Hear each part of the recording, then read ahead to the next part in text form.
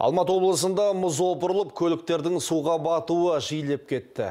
Бір ғана қапшағай су қоймасында екі айға толар толмас уақыт ішінде осындай төрт жағдай тіркелген.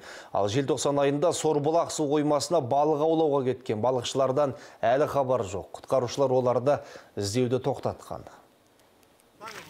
Бұл қапшағай су қоймасында болған жағдай жағадан 500 метрдей жерде мұз жарылып көлік суға батқан. Темір тұлпардың ішінде келе жатқан үш балықшы судың ортасына бір-ақ түскен. Абырой болғанда мұз опырылған жердің тереңдігі бір жарым метр ғана екен. Соның арқасында оқыс оқиғаға тап болғандар аман есен отбасына оралған. Ал құтқарушылар балықшылардың алдында көп құзыретіміз жоқ деп отыр.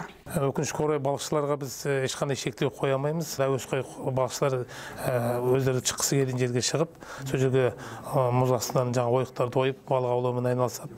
Біздің жұмысымыз жаңағы соларды аралап жаңағы қауіпсіздік шарасын сақтауға мұз жұқа жерге шықпауға сондайға шақырамыз.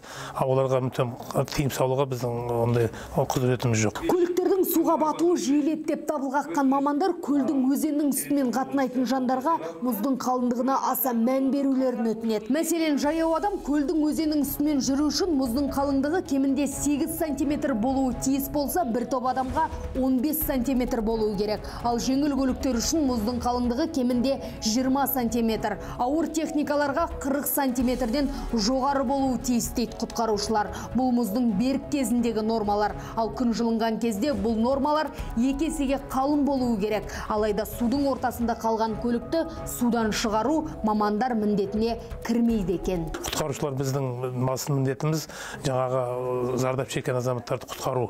Ал көлікті шығару үшін мысалы қолымыздан келіп жатса біз көмектесеміз.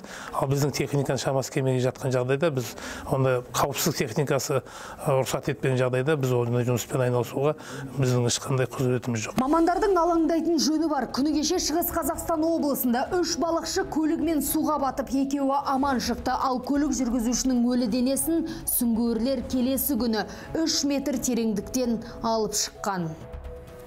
Самал қабышева қанат өмірәлинов информбюро алматы облысы.